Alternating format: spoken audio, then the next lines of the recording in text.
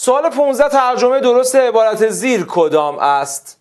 به همون عبارتی داده شده. دوباره چهار تا ترجمه براش داریم. یک به چهاره. عبارت رو نگاه می‌کنم. سریع میرم سراغ نکاتی که می‌تونه به من کمک بکنه. نادیتو فعلمونه. اول شخص مفرده. سریع نگاه می‌کنم. می‌بینم که در سه تا گزینه اول درسته در گزینه بعدی به صورت مصدری ترجمه کرده و نادرسته. رد گزینه شماره چهار.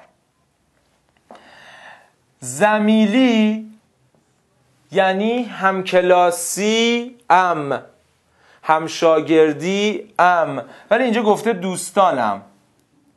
پس طبیعتا گزینه یک رو هم رد می‌کنیم.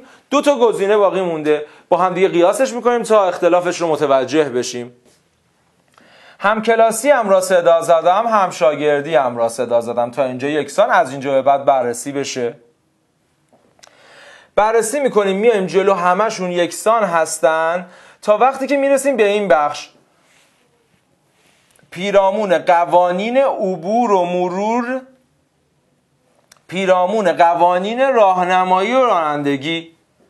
سریع بالا رو نگاه می‌کنیم عبارت رو. نوشته قوانین المرور کلمه قوانین المرور وقتی کلمه مرور رو به تنهایی داشته باشیم نکتهش اینجاست. کلمه مرور به تنهایی به معنی عبور هست. عبور کردن. ولی وقتی که همراه با کلمه دیگه ای به کار میره به معنای راهنمایی و رانندگیه. مثلا اشارات المرور علامات المرور شرط المرور پلیس راهنمایی رانندگی یا قوانین المرور قوانین راهنمایی و رانندگی در گزینه سه به درستی به کار رفته.